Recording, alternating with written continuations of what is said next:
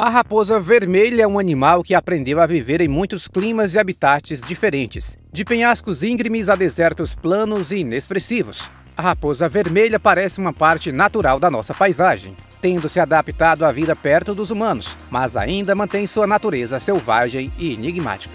O gato é semelhante em anatomia a outras espécies de felinos. Tem um corpo forte e flexível, reflexos rápidos, dentes afiados e garras retráteis adaptadas para matar pequenas presas. Sua visão noturna e olfato são bem desenvolvidos. Essa raposa se aproxima desse gato. A raposa vermelha faz parte da mesma família do lobo, mas seu comportamento social é diferente. Em vez de formar matilhas, a raposa vermelha mantém um território exclusivo com apenas um macho adulto e uma ou duas fêmeas adultas, além de seus filhotes. A raposa vai pra cima do gato que revida. É impressionante.